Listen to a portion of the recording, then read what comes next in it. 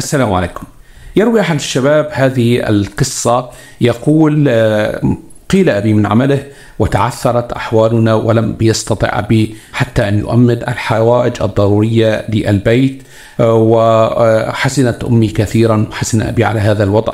ونامت أمي في إحدى الليالي وهي حزينة تفكر في مخرج من هذه الضائقة. فرأت في الرؤية أنها في مكان مليء بالأشواك وبالحجارة وهي لا تستطيع أن تتحرك من مكانها. فألهم الله في الرؤية أن تقول لا حول ولا قوة إلا بالله.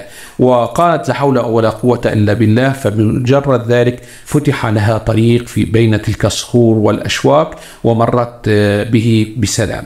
عندما استيقظت تلك الأم بدأت أخذت ورد تقول كل يوم ألفي مرة على الأقل آه، لا حول ولا قوة إلا بالله. كانت تقولها بيقين وليس لتجربة. تقول والله لم يمر شهرين إلا ويسرت أحواله وفتح باب الرزق لهم وأبي حصل على عمل جديد ومن ذلك اليوم لم تترك أمي ولم يترك أبي. قول لا حول ولا قوة إلا بالله. ونحن نعيش في حياة طيبة ونعيش في بحبوحة والرزق يصب علينا صبا هذا الكلام آه، صحيح ولا حاجة لتجربته. فرسول الله صلى الله عليه وسلم يقول في الصحيح بأن لا حول ولا قوة إلا بالله كنز من تحت العرش.